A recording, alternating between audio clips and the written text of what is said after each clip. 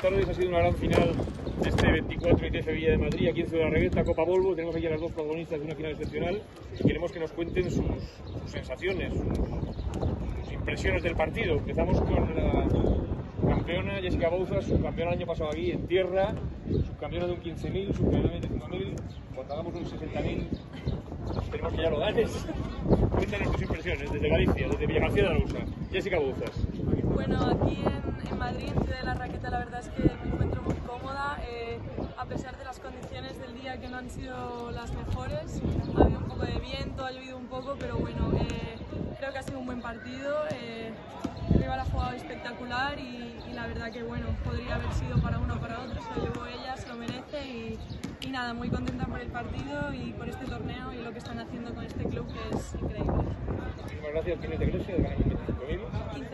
15.000. Un 15.000, no ha podido ser aquí, pero enhorabuena, estamos con tu tenis, sobre todo con, con tu casta cuando juegas, es espectacularmente. Y enhorabuena, campeona, campeona hace tres años, aquí en Ciudad de la Raqueta, en tierra, ganas en pista dura, un partido que se te complicó, ha habido un momento que una bola que has estado a punto de acordarte toda tu vida, un resto que has estado a punto de acordarte toda tu vida de él, y bueno, cuéntanos tus sensaciones y si te ve la alegría en el rostro, cuéntanos.